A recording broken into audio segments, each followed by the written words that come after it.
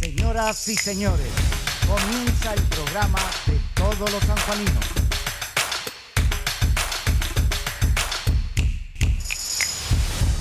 Muy buenas noches a todos, bienvenidos a una nueva edición de La Ventana.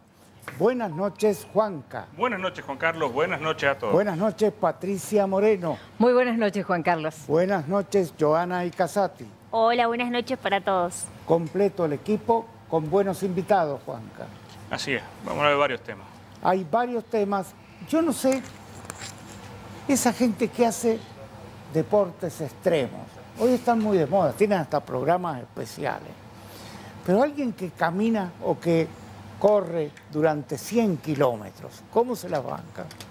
¿Es una cuestión mental o física? O las dos cosas. Hoy vamos a ver algunas personas, hombres y mujeres, que se bancan todo corriendo. O en es. deportes realmente extremos. Ahora sí, comenzamos con las noticias. Veamos el título de Nuevo Mundo y después vamos a analizar un poquito el tema. ¿Cuál es el título de Nuevo Mundo de hoy? El título principal, El mundo en vilo, porque se está esperando la reacción de Israel. Estados Unidos los apoya, pero les pide que no escalen el conflicto. Y Milei es el que juega con cartas muy pesadas en este tema, más que incluso los protagonistas. Pero la cuestión es que eh, después del ataque con 300 drones por parte, drones, misiles, etcétera, por parte de Irán, muy anunciado, por cierto, para que pudiese defenderse Israel, eh, se reunió el G7, se han reunido todos y no se sabe qué va a pasar. Bueno, ahí están las imágenes. Esto es, ustedes saben que igual que alguien pasa a la ofensiva, alguien tiene elementos con que defenderse. Esto de Irán me parece que ha actuado de acuerdo a normas de guerra establecidas. Yo te voy a tirar unos misiles, pero te aviso con tiempo para que vos los bajes y no haya muertos. Este es- esta sería una primera conclusión. Recordemos que esto, más allá de que empezó hace seis meses en la franja de Gaza con el atentado criminal por parte de Hamas contra colonos israelíes que están en la franja de Gaza, pero el 1 de abril eh, Israel tiró misiles a la embajada de Irán en Damasco, en Siria, y ahí murieron 10 personas, de los cuales 4 o 5 eran de, de primera línea, digamos, del ejército iraní. Entonces tenían que responder. Lo que a mí me, de todo esto hay cosas que me, me suenan. Primero, es cierto que el mundo está en vilo, pero desde hace tiempo. No puede ser que lo que está pasando en Ucrania se prolongue durante años y no sean capaces estos bárbaros de terminar con una guerra mientras muere gente. Este es un tema. Pero lo de Ucrania es en territorio de Ucrania y a lo sumo algo en territorio de Rusia, con lo cual la OTAN se preocupa, da armas, pero hasta ahí nomás. Está bien, pero es una barbaridad que sigan muriendo gente Seguro. por una causa de este tipo. Primero. En segundo lugar, lo que está pasando en la zona de Gaza también es una barbaridad. Es decir, porque hay gente que no tiene nada que ver con Hamas y está muriendo también.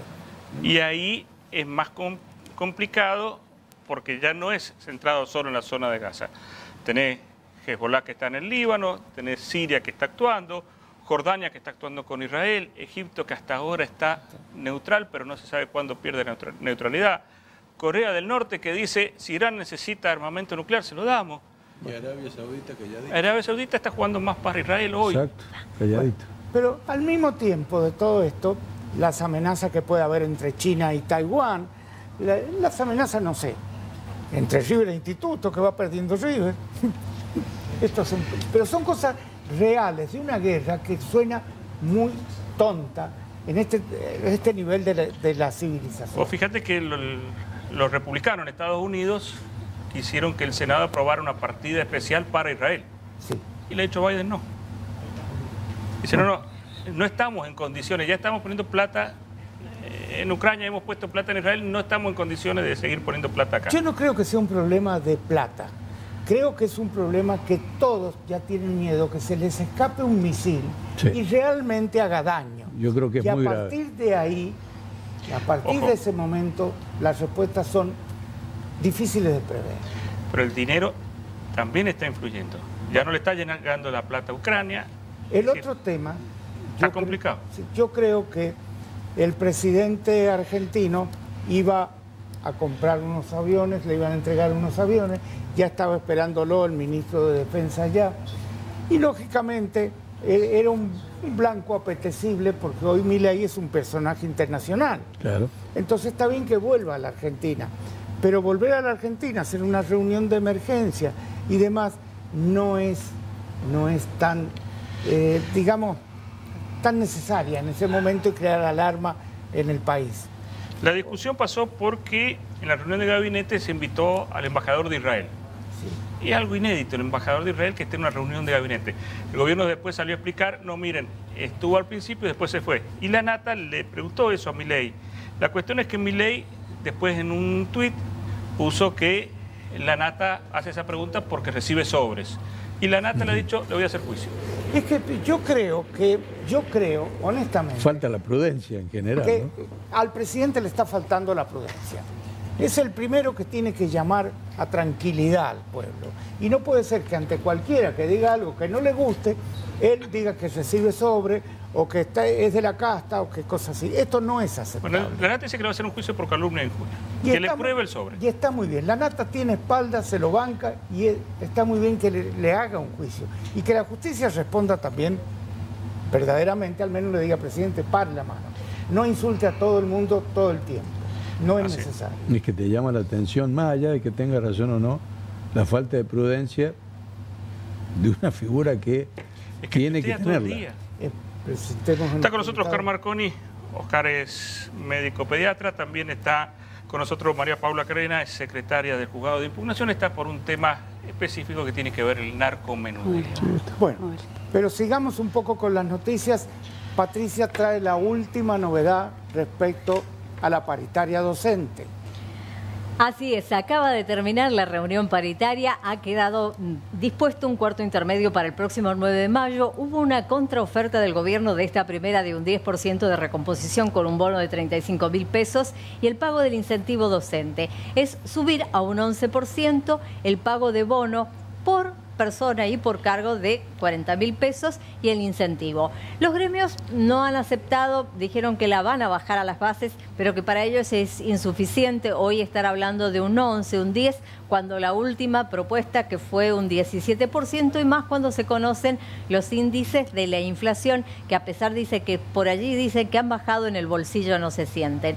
El 9 de mayo a las 14 será la próxima reunión y bueno, ellos, mm, los gremios dijeron, bueno, nosotros no aceptamos, las bases deciden, pero quedamos en libertad de acción. Lo que sí se les ha recordado, que mientras sigan negociando y si se van a sentar el 9 de mayo, no pueden realizar medidas de fuerza.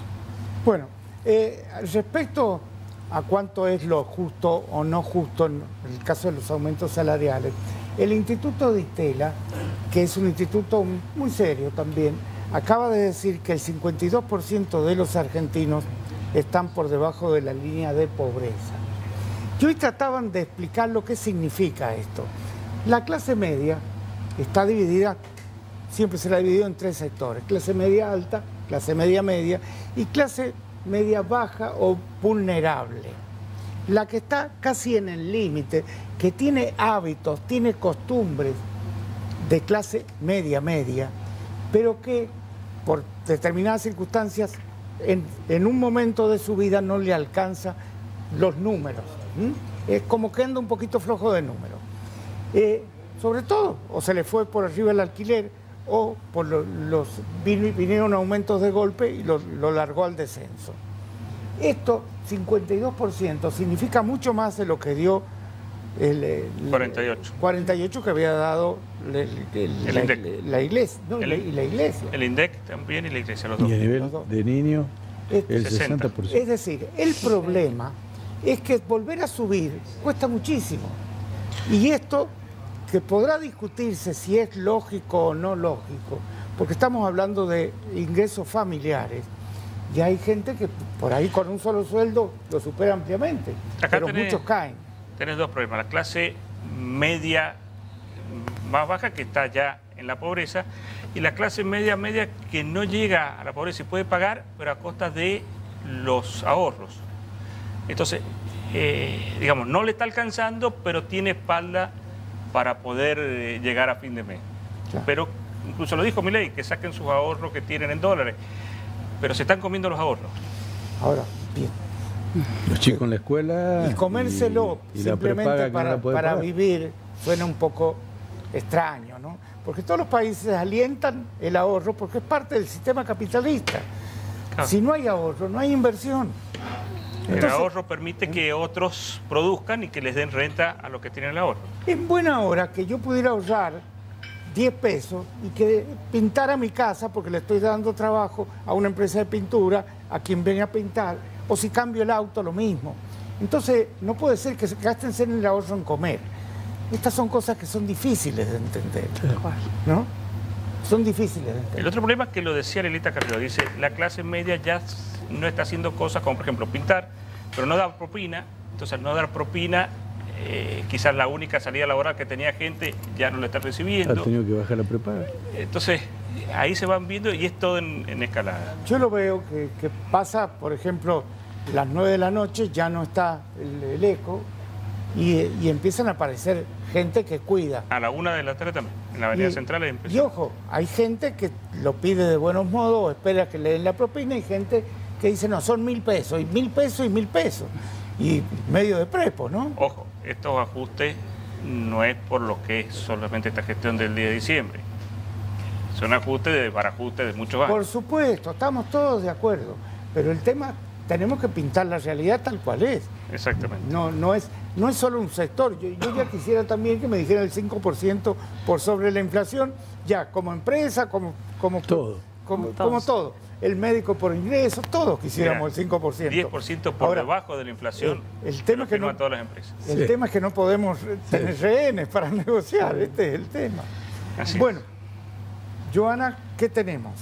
Sí, una noticia que salió esta mañana y preocupó mucho a San Juan y sobre todo al deporte del vóley fue lo que dijo el titular del gremio de UPCN, José Pepe Villa, que dijo que por motivos económicos UPCN Vóley corre el riesgo de no participar el año que viene en la Liga Argentina de Vóley. Esto realmente tuvo una gran repercusión. Dijo que se tiene que juntar para hablar con el gobernador, ver qué onda, porque el tema es el formato que tiene la liga. Así que es en formato tour, tener que ir a una provincia, pasar varios días en esa provincia, se requiere mucho dinero y dice que por lo que está pasando ahora estaría bastante complicado que pueda seguir UPCN siendo parte de la Liga Argentina. Te digo dos cosas. Uno es cierto que eh, el diseño de, la liga eh, primero beneficia a Ciudad, claramente, lo beneficia a Ciudad que no tiene que viajar al interior. Pero en segundo lugar, UPCN está acostumbrado a contratar a algunos jugadores que le daban el plus necesario para ser campeón seis veces, creo que ha sido. Nueve veces, Nueve de veces. nueve veces en los 14 Y años que Pepe han Villa pasado. no está acostumbrado a ser tercero ni segundo. Pepe Villa se enoja y se enoja en serio. Entonces, para ser tercero, no presenta el equipo. Esta es la realidad.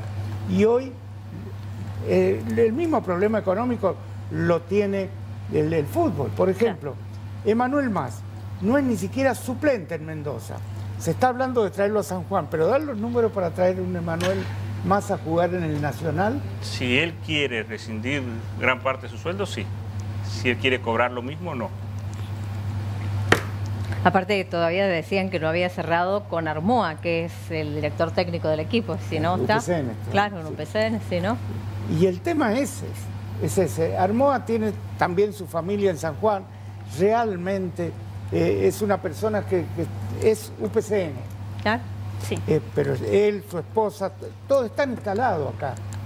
Eh, le- es muy difícil que, que él se vaya, pero lógicamente le han pedido designaciones que no sé si ya puede hacerlas, porque es un técnico que tiene ofertas de muchos lados. Sí. Bueno, a propósito de esto, los regantes, ¿deben mucho en hidráulica? Deben mucho, están debiendo el, el 80% y les han dicho que empiezan a, a ejecutarlos. Eh, yo creo que ahí hay que ver, eh, porque no es lo mismo el, el regante que tiene inculta una finca y, y debe, a ese cobrarle, al regante que es una gran producción, pero muchos regantes están pensando En, en vender. en venderlo y sus hijos están esperando el día que se muere el papi, acá hacemos barrio privado. Y lo han hecho. Entonces tenés que protegerlos un poco más. No te hace nada quizás un 15% más o menos y hay un porcentaje que realmente no puede pagarlo. Señores, los agricultores son los jardineros del espacio público que todos disfrutamos. Cuídenlo no un poco es lo más. mismo ver un desierto que ver verde. Y esto se debe a alguien que se llegara a llegar a las 5 de la mañana.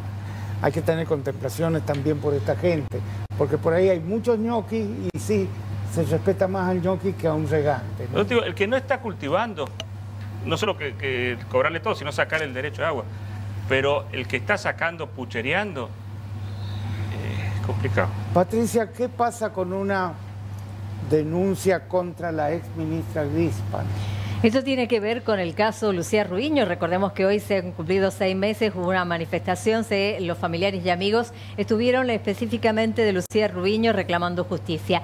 Y el abogado defensor de este menor que la invistió y la mató, Nasser Usaid, ha anunciado que va a denunciar por falso testimonio a la ex ministra Claudia Greenspan porque hizo declaraciones que son contradictorias.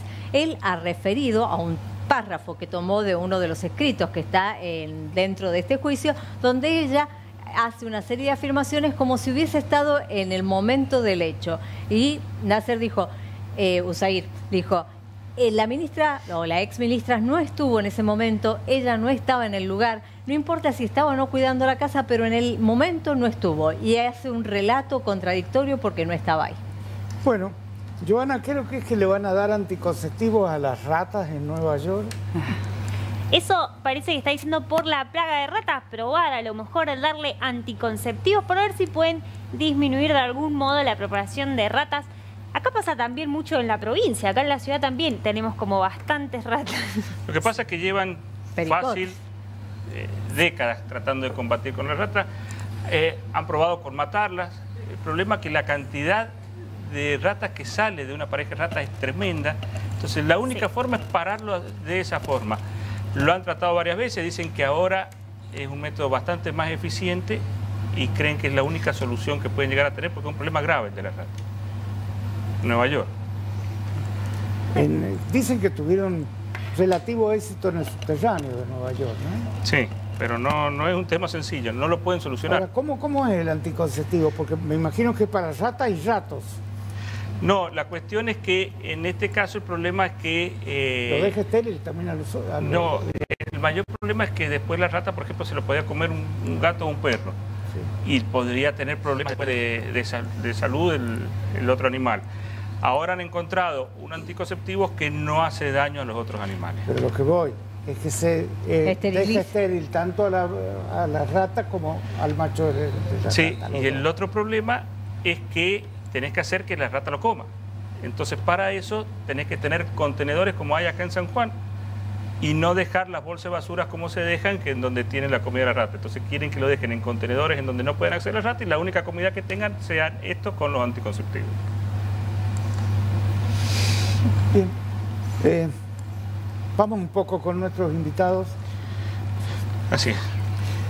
Volvemos a señalar, está con nosotros el doctor Oscar Marconi, médico pediatra, y María Paula Cadena, que es la secretaria del juzgado de impugnación. Tribunal de Impugnación. Tribunal. Buenas, Buenas noches. noches. Muchas gracias por la invitación. Vamos con un tema. Sí, eh, Oscar, ¿cómo viene este año? Porque el año pasado fue complicado por lo extenso, el tema de, de los chicos con sus problemas respiratorios, con, con sus problemas de infecciones. Empezaron en esta época y duró hasta... empiezan en esta época y creo que uno de los temas más importantes dentro de las infecciones respiratorias de los niños y, en especial los menores de dos años es- la bronquiolitis. O sea, eh, el año pasado tuvimos dentro de las infecciones virales eh, un- una gran este, presencia de bronquiolitis que está todos los años, pero hubo una mayor cantidad e intensidad de casos y eso es uno de, la- de los motivos por los cuales este, se acude mucho más a la consulta, te colapsa las guardias externas, colapsa los servicios de internación. Eh, ya empiezan los fríos y al empezar los fríos empiezan todos los virus respiratorios. O sea, por algo a los niños les decimos que son mocosos, porque viven con moco, en especial el, el menor de Claro. tres años y medio, cuatro. Ahora, Eh, ¿qué es lo que es peor, el frío o el encierro? No. Para el contagio ser el encierro. El contagio, imagino. sobre todo el, el encierro. El frío es una cosa no solo natural, sino que sabemos que cada vez hemos tenido un calentamiento que se va dando mayor y entonces de pronto el frío no, No, no es tan importante como para justificar la, no es infecciones vaya. respiratorias. No es porque lo lleven No, no. temprano a la escuela, sino porque después se Aquel tema, con 30 aquel chicos. tema eh, es, es fisiológico, es normal que haya una respuesta a los virus respiratorios totalmente. O sea, el niño en condiciones normales, después que empezó a, ba- a bajar la cantidad de anticuerpos que la mamá intraútero le ha, le ha traspasado y, y en especial teniendo como estrategia fundamental la lactancia materna, si es posible hasta los dos años, y con un buen cumplimiento del esquema de vacunación del calendario nacional, que es, es muy bueno, tenemos asegurada prácticamente la baja incidencia de complicaciones graves. ¿Dónde, tiene más importancia, en este caso la bronquiolitis, que es uno de los virus, este, a raíz del virus incisional respiratorio más, más comunes y que más afectaría? Y en el menor de seis meses, y en especial en los prematuros, en especial en los neonatos, y bueno, en los menores de tres meses adquieren también una mayor cantidad de complicaciones. Lo importante de esto es saber que los mocos están, que los virus están, que tenemos que tener la posibilidad de tomar conciencia que tenemos una herramienta que es la vacunación en el virus incisional respiratorio de la mamá. Esto es una estrategia nueva, por suerte apareció, el virus incisional no se le puede dar, sincitial no se le puede dar a los chicos porque no hay una vacuna específicamente en forma directa, pero a partir de las 32 semanas de embarazo a las 36 semanas se produce esta nueva este, inclusión en el calendario de vacunación en forma gratuita a todas las mamás. Esto Le es seguro, ponen- la vacuna no trae Es contraindicaciones. una vacuna totalmente aprobada, genera la producción de anticuerpos en la mamá. Esos anticuerpos son pasados intraútero al bebé e inclusive una vez que nace por la, por la, por la teta. Yo le dejaría al doctor Marconi para el próximo bloque ya una pregunta hecha. El gobierno nacional acaba de anunciar que inicia acciones contra la prepaga por cartelización. Sí. La acusación es concretamente contra el señor Velocopit como cabeza de una unión De un cartel. de un cartel que integrarían además una asociación médica y las prepagas con Sí. su médica a la Sí. cabeza. Sí. Este, lo dejamos para el próximo Sí, bloque, pero sí. si esas prepagas que a todos nos han aumentado en forma desmedida, le han trasladado a los médicos en la igual proporción le- las obras sociales, porque los médicos al mismo tiempo nos siguen cobrando los plus. Vamos con la doctora María Paula Carrera. Eh, los otros días estuvo en San Juan Julio Contegrán, es el Procurador General de la Corte Suprema de la provincia de Buenos Aires. Y le preguntábamos a él cómo les ha ido con el narcomenudeo. Y él decía que el resultado para él era bueno, que propiciaba esto, lo que sí decía que no era con fondos nacionales, era con fondos propios. En San Juan, ¿cómo es el sistema? Bueno, buenas noches a todos. Eh, en San Juan no tenemos nada más que en estos momentos la aplicación de la ley 23737, que es la ley de competencia federal. Existe la ley 26052, que es la ley de adhesión, ¿no es cierto?, a la desfederalización del narcomenudeo. Nosotros solamente en- hoy tenemos el sistema, digamos, de competencia federal. Actualmente, de todos modos, están como dos fuerzas, la fuerza federal y hay una división que es la división de drogas ilegales que trabaja actualmente, pero siempre, eh, digamos, los pedidos de órdenes de, allana- de allanamientos o, o todo el, el pedido y la investigación la trabaja la justicia federal. ¿Qué es lo que es el narcomenudeo? El narcomenudeo lo prevé esta nueva ley eh, que da la posibilidad de que para algunos casos, la, la ley 23737 prevé eh, conductas de tráfico. En, los primeros dos incisos prevé todo lo que es eh, la fabricación, la producción y el almacenamiento. Y en uno de los incisos, que es el, es el artículo quinto, inciso C, prevé el comercio o el que tenga con fines de comercialización. En ese inciso y los restantes, eh, la ley nueva, la 26052, que igual es, ella es vieja para nosotros, a la que se debería adherir la provincia de San Juan, prevé que en esos casos se puede desfederalizar el narcomenudeo, que es para aquellos casos en donde la venta va directa al consumidor. Es decir, son eh, mm, pequeños... Es el último eslabón dentro de todo esto. Es casi el penúltimo, digamos. Es en los kioscos, en, en, las escuelas. En las, en las escuelas, en los alrededores, en las plazas, en las zonas, eh, digamos, que no estarían dentro de lo que es la ruta propiamente dicha.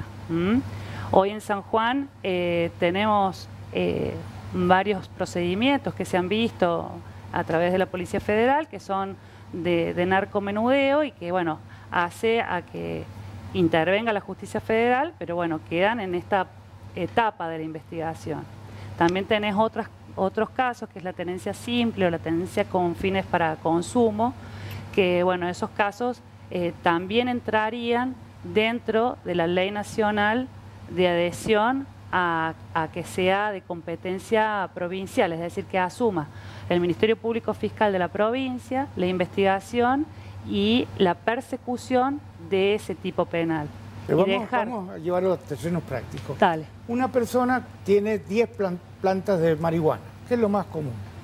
¿Esto entra en el narcomenudeo? Bueno, las plantas de marihuana están a su vez autorizadas por, a nivel nacional el cultivo el cultivo está autorizado. Si la persona tiene un carnet, digamos, nacional de cultivo, puede tenerlo en su casa. Pero si estamos hablando ya de que, de que eso ha generado, digamos, ya eh, la una mini producción de porros, lo habitualmente que se llama porros, el tener eh, para la venta pequeñas eh, cantidades de ya sea porros o, o, algunos envoltorios de ya sea clorhidrato de cocaína o marihuana, ya la cannabis no es medicinal, sino que estamos hablando de eh, una cuestión que tiene que ver con el narcomenudeo y sí es investigable y, sí tiene una pena.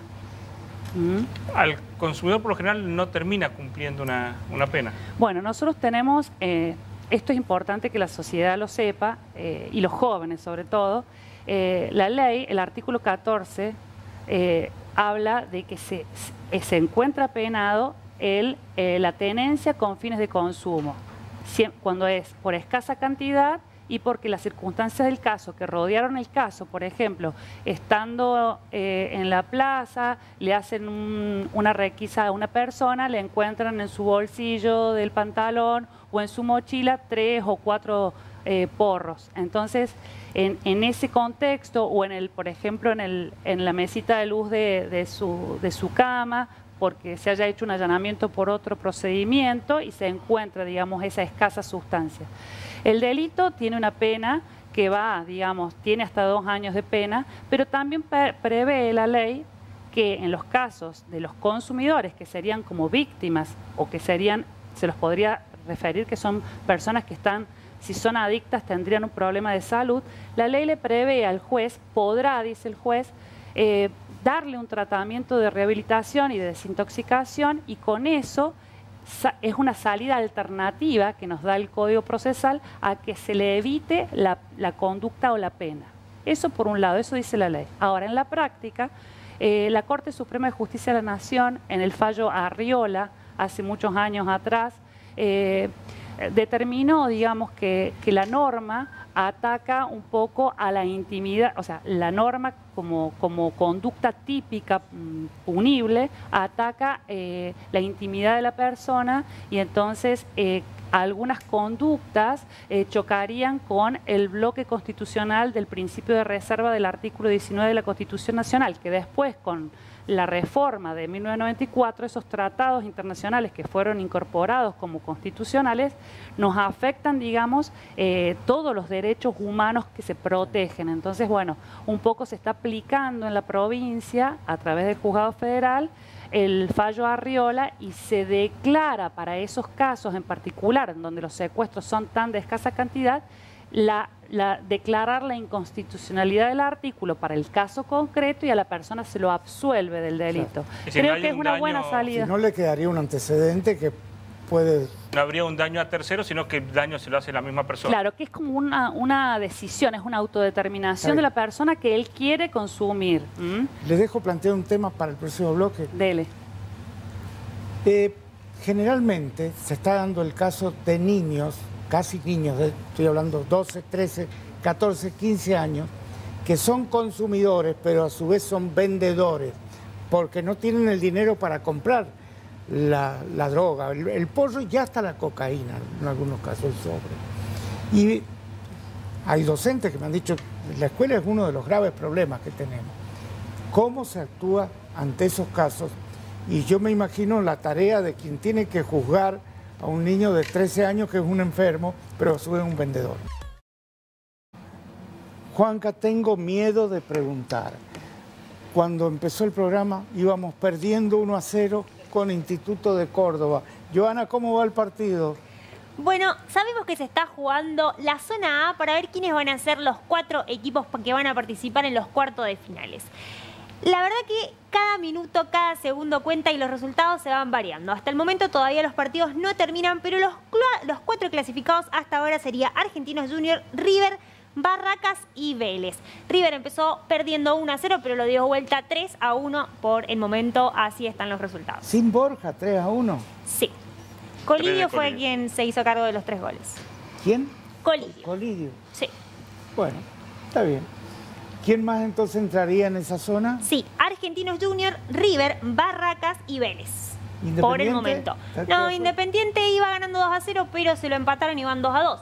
Pero como decimos, cada minuto hasta que no terminen, los resultados pueden ir variando. Yo veo la cara de, hinchas de Racing y cuando Independiente queda afuera, hay una media sonrisa, aunque no digan nada. Sí, no podemos cantar todavía. Nosotros vamos a hablar con alguien que pues, específicamente estuvo dando cuenta de cómo van ascendiendo los casos de dengue en la provincia de San Juan. 1064 hay registrados hasta el momento, 512 en estudio de las personas que están internadas, hay 29 pacientes, de los cuales dos están en terapia intensiva y cinco son niños. Y la advertencia fue, han pasado unos días de lluvia y de frío, pero esto no ha matado el mosquito y las larvas específicamente, y han quedado muchas lagunas y mm, agua de reserva en diferentes cacharros y ruedas y demás. ¿Qué es lo que están pidiendo? Sacar, porque este eh, mosquito es resistente y los casos siguen creciendo. Exacto. Bueno.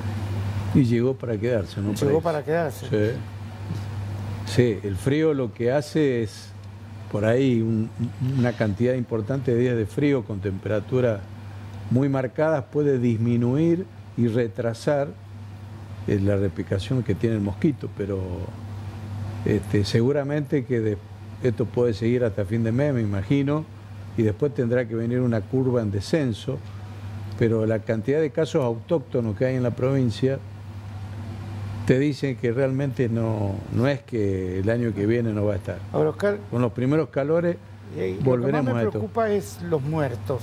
¿Esto se debe a comorbilidades o que es peligroso en sí mismo el mosquito? A ver, el mosquito cuando uno lo, lo, lo, evalúa a nivel mundial es el principal transmisor de enfermedades virales cada vez en aumento en todo el mundo. Eh, el dengue en Latinoamérica lo tenemos hace muchos años. Si recuerdan, hace más o menos 30 años hubo una gran inundación en Tartagal, en Salta, y a partir de ahí es como abriste una, una compuerta, porque a través del paso por Bolivia y la zona norte de, Argentina, de Mesopotamia, cada vez se tiene más.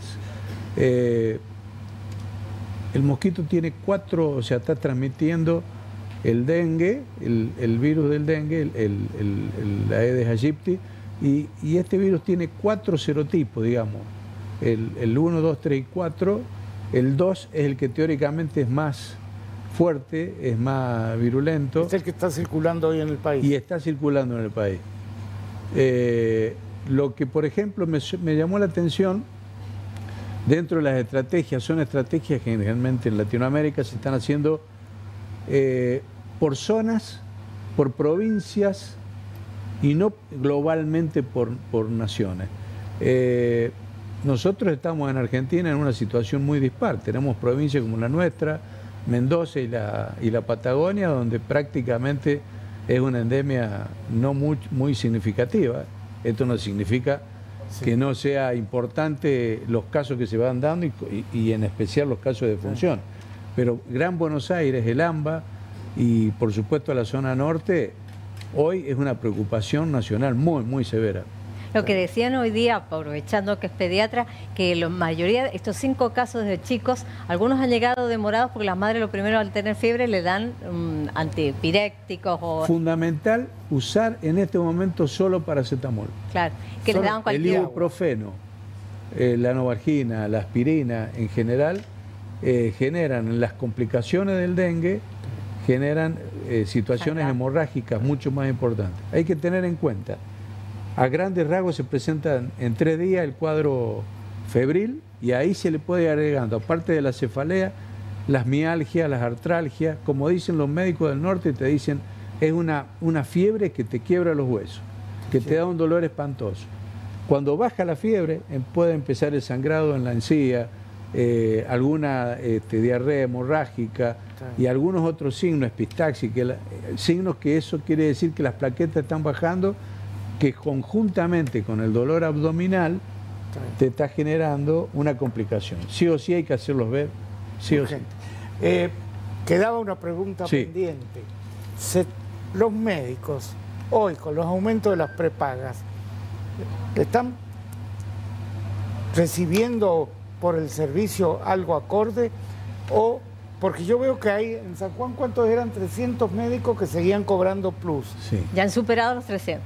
¿Cuánto? Han superado los 300, van 300 y monedas, 320.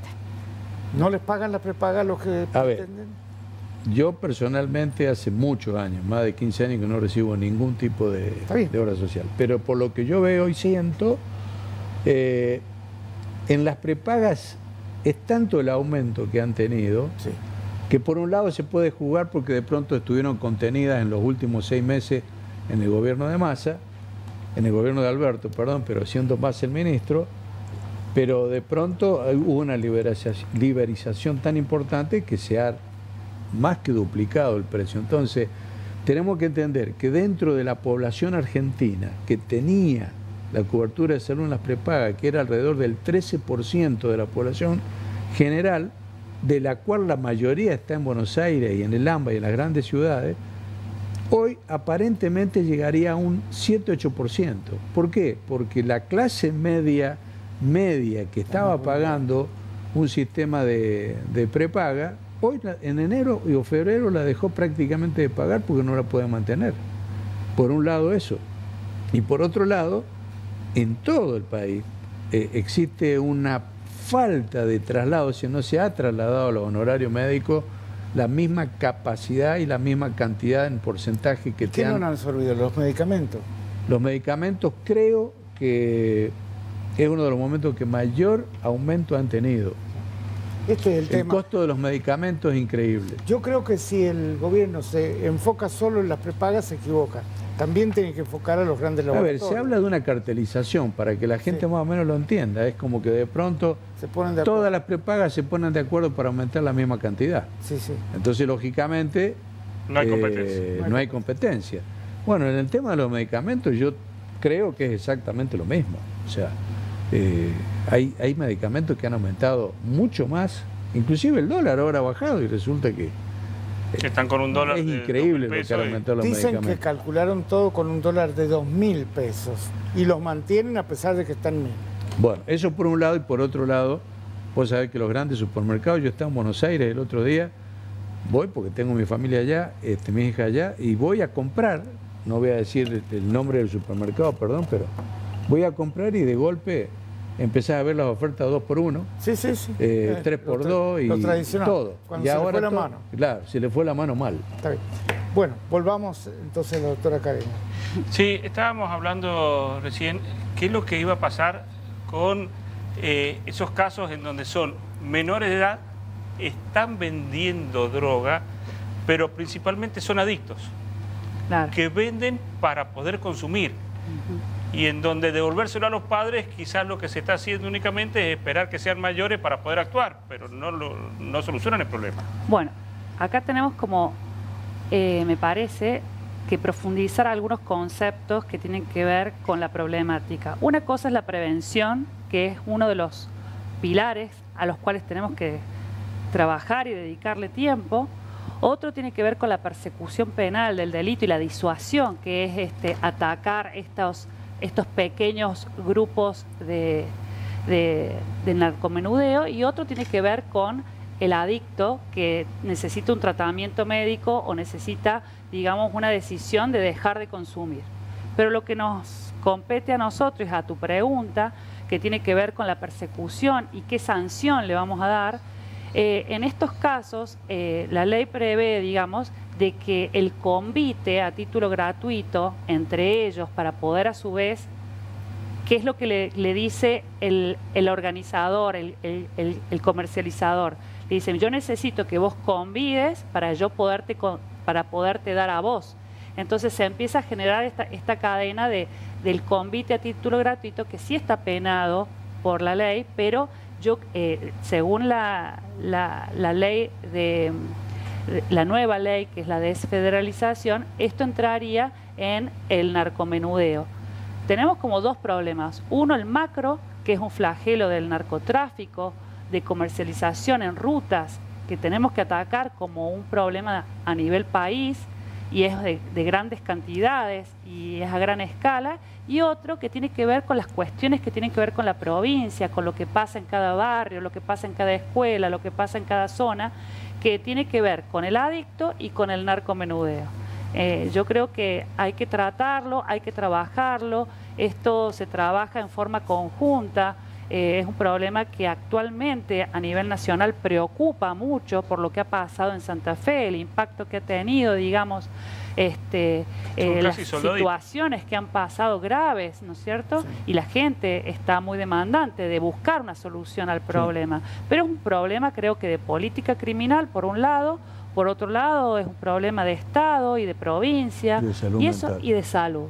o sea, es muy difícil perseguir la, ruta del dinero?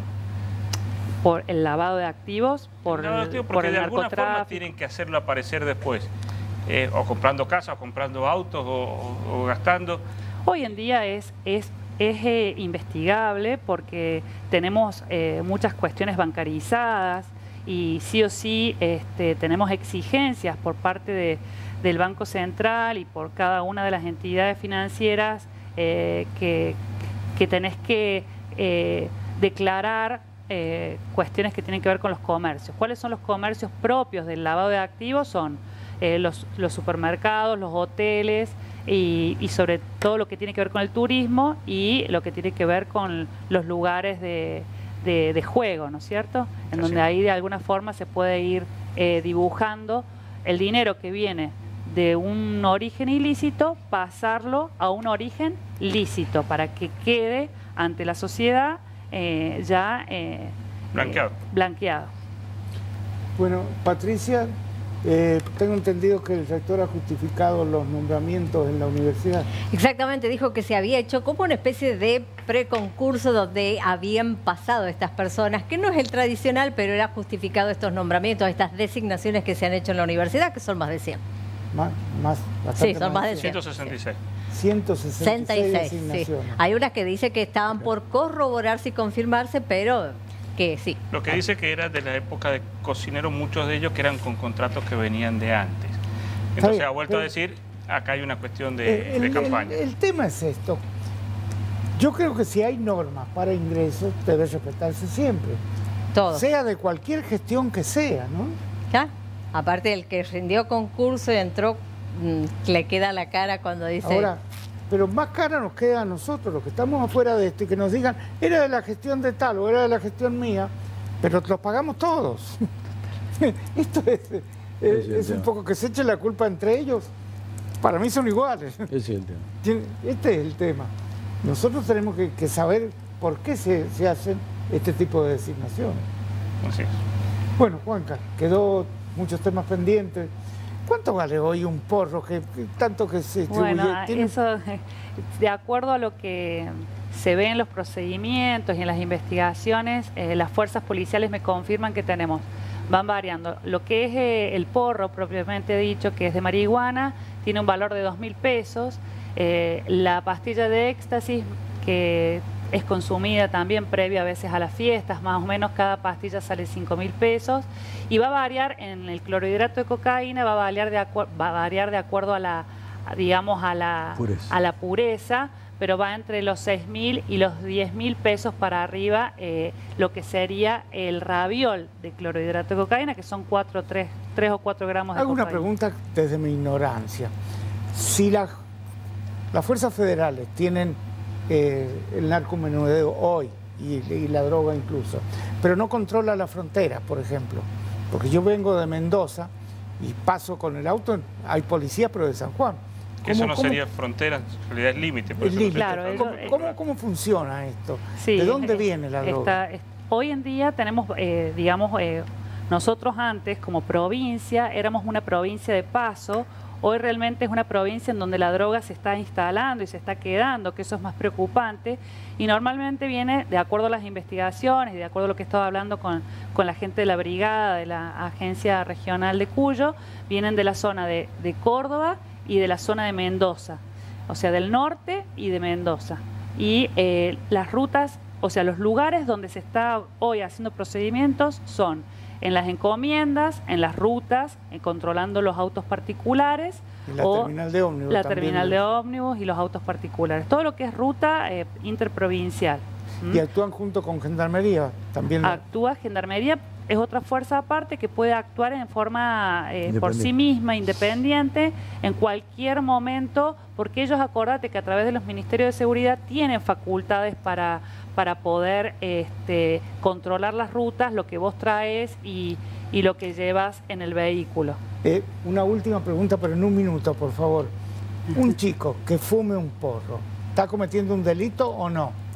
Este, no, en- no de acuerdo a la ley, el- a- al, al fallo Arriola, sí de acuerdo a la ley 23737. Sí, pero lo pueden detener. Lo, ¿Lo pueden pueden detener. detener? Por Un supuesto. que chico lo que prende un porro en un En la vía alguien lo pública, por denuncia, ¿y supuesto. qué pasa? Sí, este es un delito que es la tenencia con fines de, de consumo. Pueden detener y- aunque después no lo sancionen.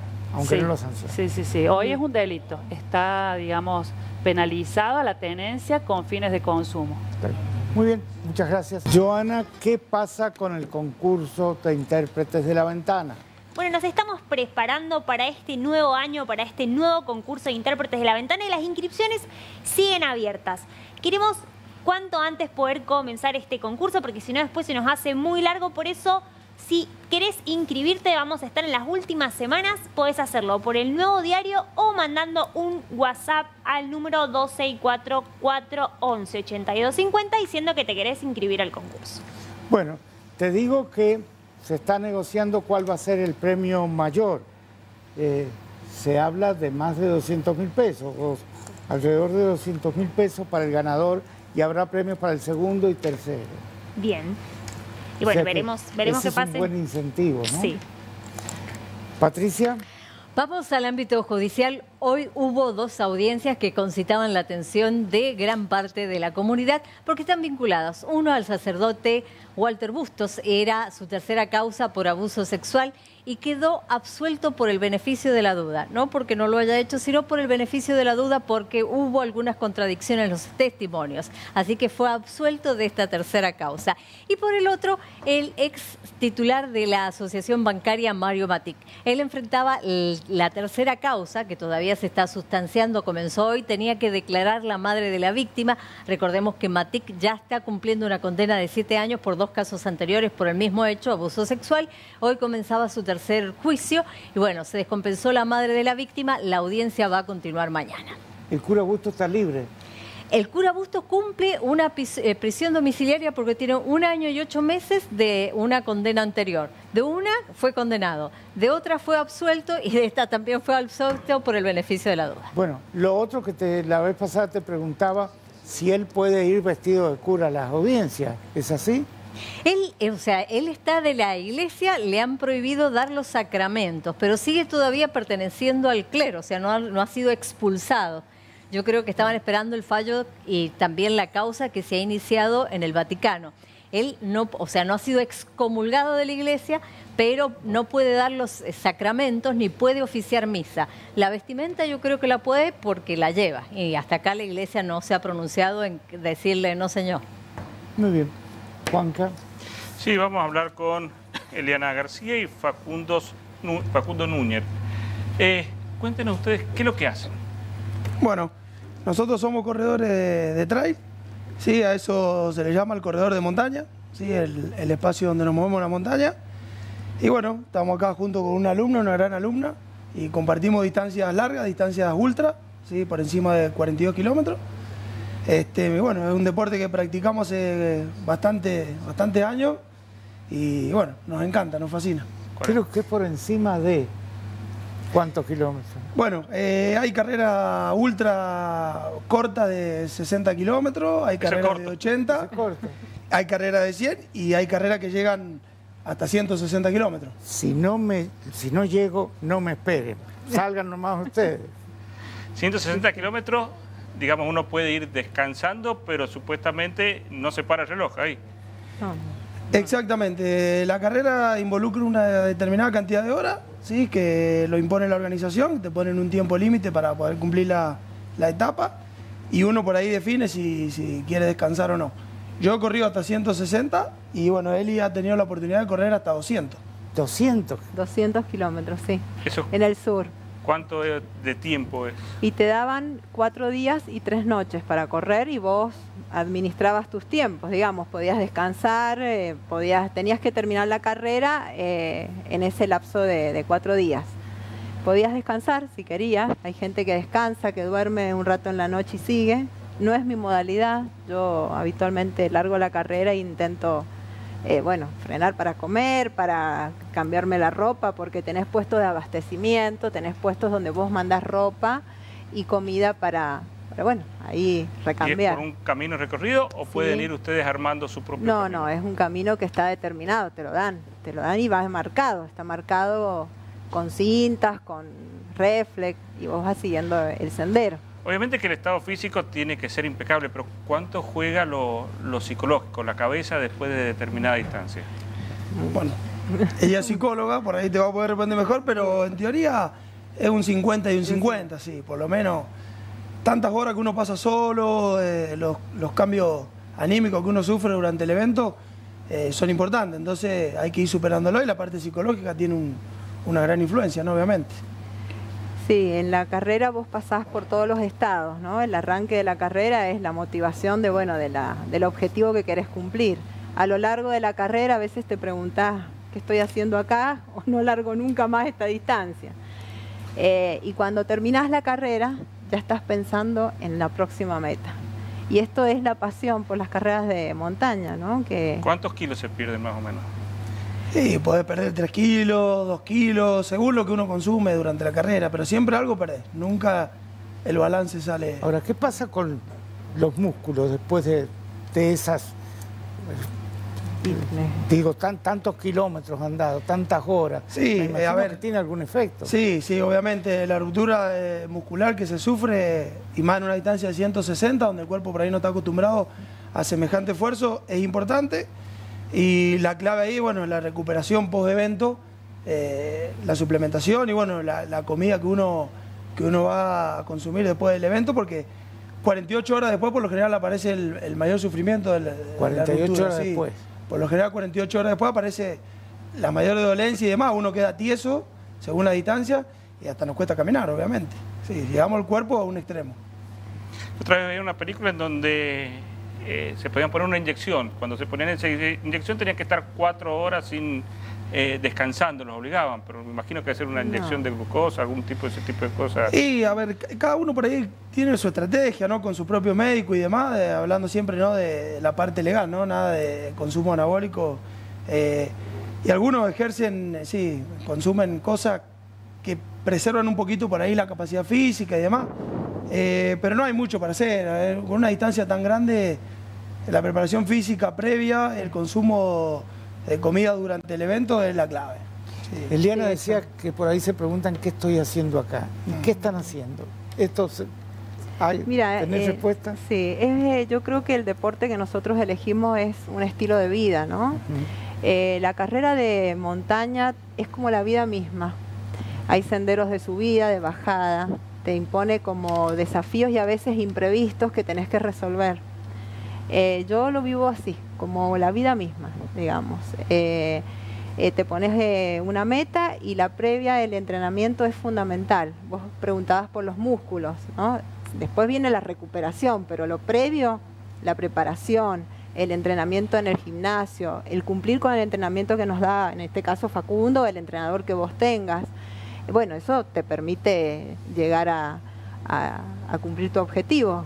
Después la recuperación, bueno, como dice Facundo, tenés una parte de recuperación que sí o sí la tenés que respetar porque si no, no puedes hacer de nuevo... Eh, no quita que sufrimos durante el evento, ¿no? Obvio.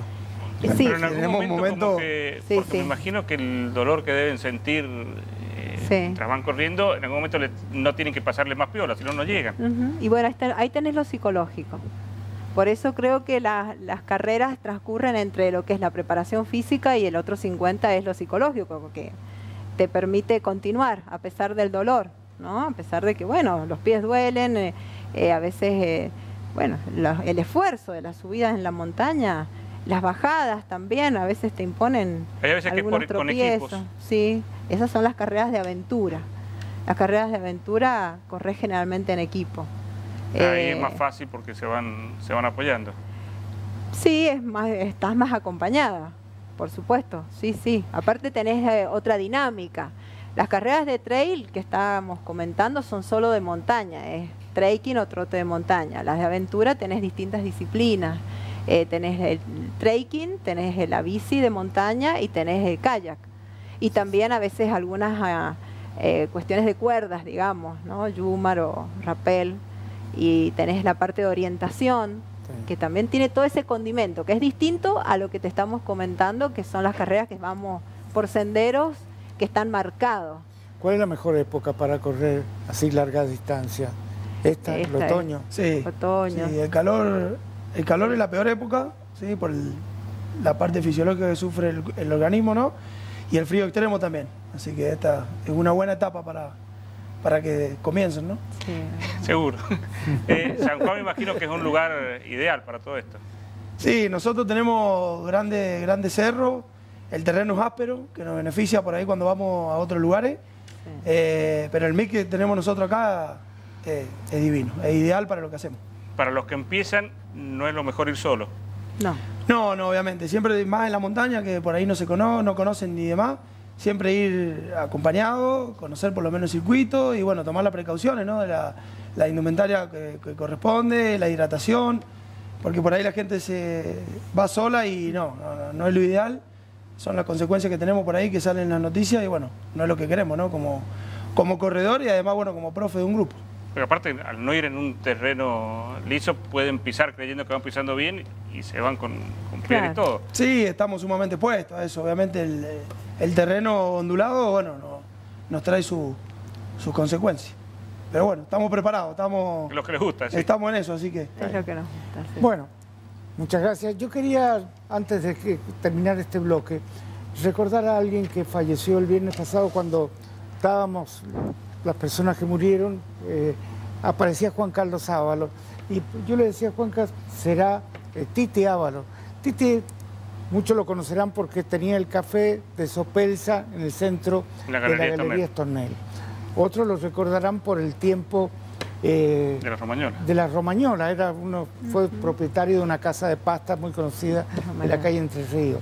Pero hoy publicamos en la página 2 de Nuevo Mundo, si la pueden mostrar, una foto por el cual también yo lo recuerdo, a los 13 años, Titi Ábalos era, salió campeón de la categoría motos de, de 48 centímetros cúbicos, las motos chiquitas, tenía 13 años.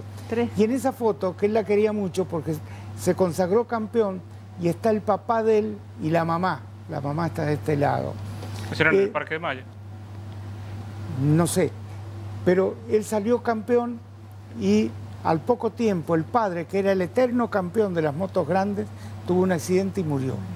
Ante eso, Titi Ábalos dejó algo que podría haber sido una carrera deportiva muy importante. Este, falleció este viernes, lo enterraron el, El sábado. el sábado. Quería recordarlo simplemente, un amigo muy amigo.